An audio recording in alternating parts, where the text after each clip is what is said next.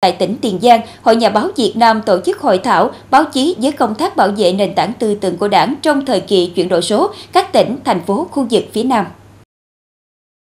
Hội thảo được nghe nhiều tham luận trao đổi trách nhiệm của các cơ quan báo chí và hội nhà báo các tỉnh, thành phố. Các tham luận tập trung vào những kinh nghiệm thực tế của báo chí trong công tác bảo vệ nền tảng tư tưởng của đảng, những khó khăn thách thức đối với đội ngũ nhà báo trong phản bác quan điểm sai trái, đấu tranh chống các thế lực thù địch. Nhiều bài học kinh nghiệm cũng được chia sẻ, giải đáp thiết thực được rút ra từ thực tiễn dấn thân của nhà báo, hội viên, từ cách làm sáng tạo của các cấp hội trong việc áp dụng những thành tựu của công nghệ số trong việc tổ chức tuyên truyền, bảo vệ nền tảng tư tưởng của đảng, qua đó cho thấy trách nhiệm vai trò của hội nhà báo trong việc đoàn kết hội viên, bồi dưỡng, nâng cao nghiệp vụ, nắm bắt kịp thời sự phát triển mạnh mẽ của truyền thông số, phối hợp nhịp nhàng, hỗ trợ các cơ quan báo chí hoàn thành nhiệm vụ chính trị.